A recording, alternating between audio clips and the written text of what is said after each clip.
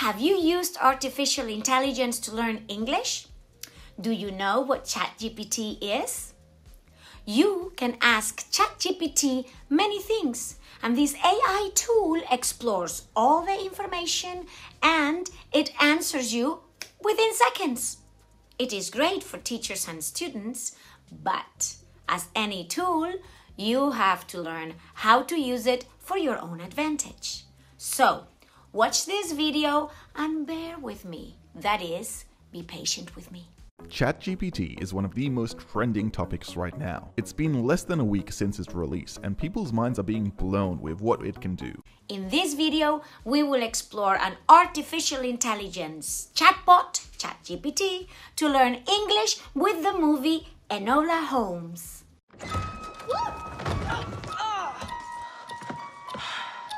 Dare I ask?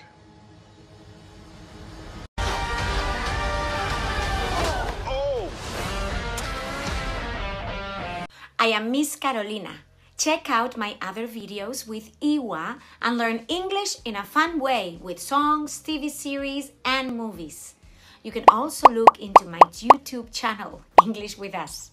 All info in the description. By the way, did you know that neither Sherlock Holmes nor Enola Holmes are real characters? They are fictional characters. The first one, Sherlock, created by British author Arthur Conan Doyle, and the latter, Enola Holmes, written by American author Nancy Springer. Why Enola Holmes? Because it is a story with a strong female protagonist and it resonates with the ideas of feminism, independence, social justice, and education. Educate me as to why. Because you don't know what it is to be without power.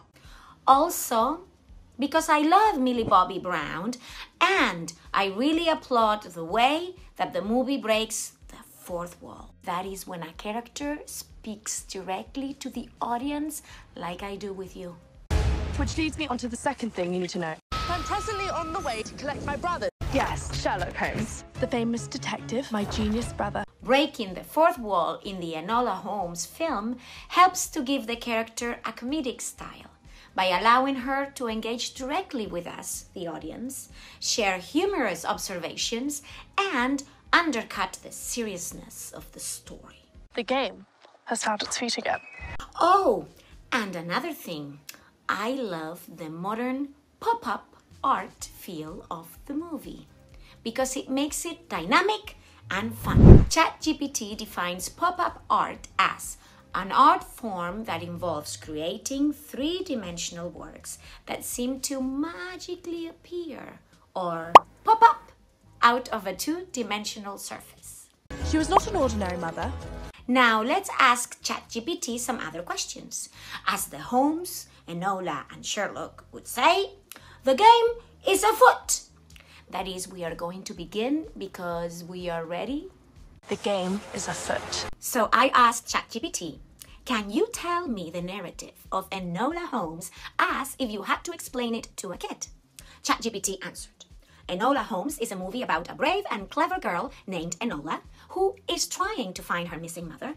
Enola's mother is very special because she taught Enola many things, like how to fight and how to be independent. When her mother disappears, Enola sets out to find her, but she discovers that her mother left her a hidden message and a mystery to solve. We can see basic vocabulary is used in this A2 level narrative, like brave and clever girl, and also verbs in the present simple, disappears, the present progressive, is trying, or the simple past, taught. Very good, ChatGPT. And it's true. Enola's mother leaves her a hidden message. My Enola. Chrysanthemums. My chrysanthemums. And Enola herself says, My mother is rather a fan of word games.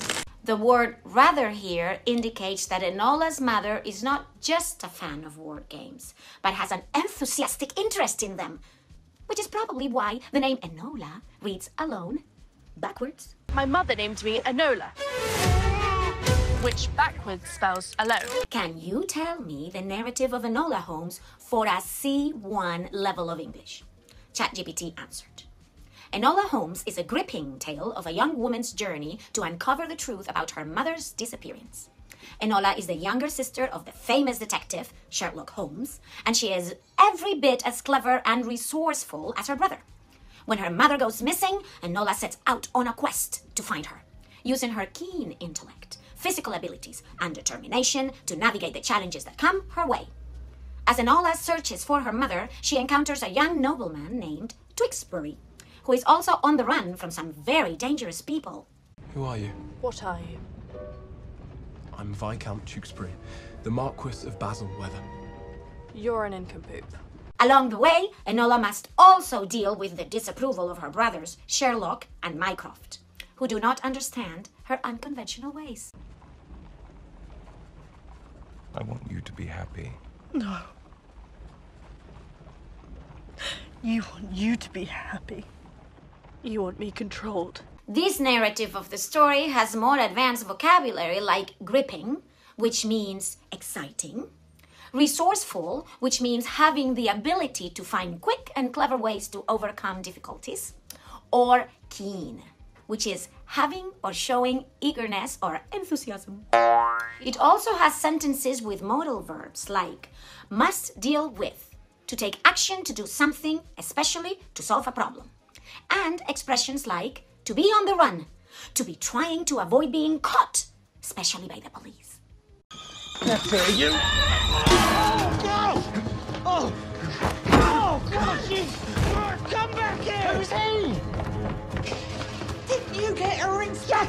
Now, ChatGPT is still learning and it makes mistakes.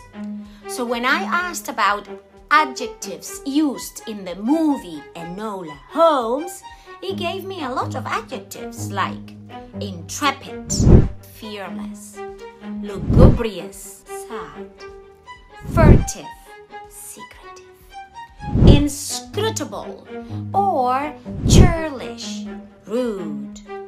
But guess what? They don't say any of these in the movie. Yes, all of these adjectives are related to Enola Holmes, and they appear in the book or in reviews written about the book or the movie. But they are not spoken in the movie. Oh, I was so furious, mad, upset. Very angry. Yes, very angry.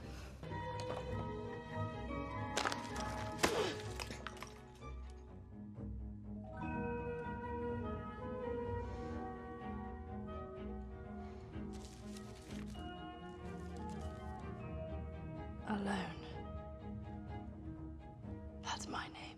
I checked the movie again and again and again, and I found other adjectives that we can learn looking at their synonyms, like proficient, very capable, Mother says I'm getting quite proficient. delightful, very charming, A motor car. How delightful, Miss Harrison. preposterous, very absurd, I won't enjoy being imprisoned in those preposterous clothes.